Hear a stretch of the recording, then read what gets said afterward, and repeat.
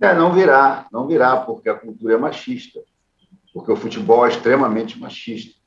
Ninguém vai falar. Não falaram na época do Robinho, não falaram na época do Cuca. O Mike Tyson, hoje, está nas, tá, tá na, nas notícias da internet, Mike Tyson está sendo acusado de novo de estupro. O mesmo Mike Tyson que já tinha sido preso durante um período por causa de um estupro. Então, é, eu acho que isso aí, infelizmente, é uma coisa que precisa de muita luta, mas precisa também de exemplos. Esse caso do Daniel Alves, por exemplo, pode ser um ótimo exemplo. Um jogador consagrado mundialmente. Então, se, se gaba tanto ser o maior ganhador de títulos da história, enfim, uma figura pública mundial, for preso mesmo, de fato, for condenado de passar, como pode passar, até 12 anos na cadeia, isso é um exemplo. Isso é um passo, isso ajuda. Porque outro vai pensar, caramba, o Daniel Alves, que, era, que é tão famoso, tem tanto dinheiro, fez um negócio desse, está lá na cadeia. Pô, eu que não vou fazer. Porque, infelizmente, o que vai evitar isso é o medo da punição. É o medo da punição.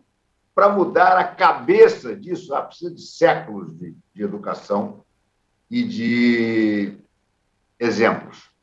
Daniel Alves pode virar um bom exemplo no sentido de dizer: olha, amigo, não interessa o dinheiro que você tem, não interessa é, se você é famoso ou não, isso aqui da cadeia, e você vai ficar preso.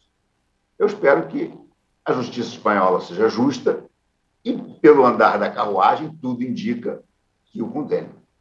Porque é muito pouco provável né, você imaginar que o Daniel Alves não é culpado nessa história. Com todos os indícios e, principalmente, com o fato da mulher não querer aparecer e dizer não quero dinheiro. Porque a grande defesa desse tipo de caso, normalmente, quando é com gente famosa, gente de dinheiro, é de dizer ela está querendo aparecer às minhas custas, ela está querendo uma grana. Essa menina afastou de cara essas duas possibilidades. Então, é, é muito difícil você acreditar que o Daniel Alves não seja culpado.